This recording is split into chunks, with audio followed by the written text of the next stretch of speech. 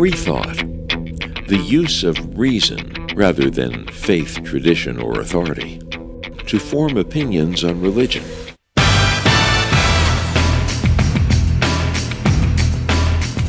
More wars have been waged, more people killed in the name of religion than by any other institutional force in human history. So, with such wildly contrasting beliefs in this country, why aren't we at each other's throats? Here's why it's our Constitution, and its very core of freedom from religion. Our country was founded in part by refugees seeking freedom, seeking to escape centuries of religious persecutions, holy inquisitions, witch hunts.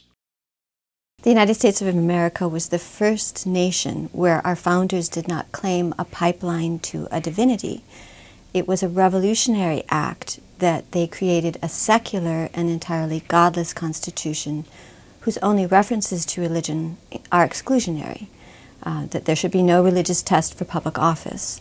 The founders were aware of the inquisitions and the pogroms and the religious wars and the terrors in Europe and the persecution in many of the individual colonies, and they wanted no part of that in our new government. So they erected what Thomas Jefferson called a wall of separation between church and state, and that protects all of us it has prevented the bloodshed and warfare that we see in so many parts of the world where religion is involved in government. There are some believers who don't see the difference between neutrality and hostility. They think efforts of groups like ours to keep the government neutral are actually a hostile act against their faith.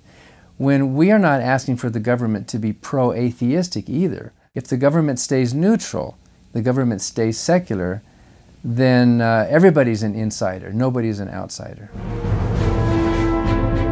Freedom from religion is what we all value so highly.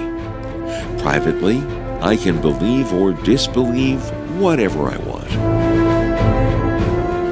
When you think about social and moral progress, it's usually made by rebellious people, people who break the mold, people who are rejecting the dogma. Most progress is made by people who are free thinkers to some degree. They are challenging the status quo.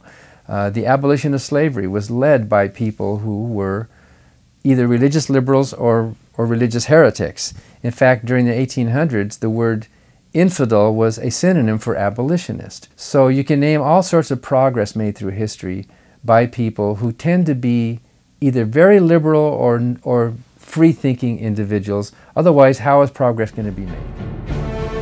Congress shall make no law respecting an establishment of religion or prohibiting the free exercise thereof. It's brilliant.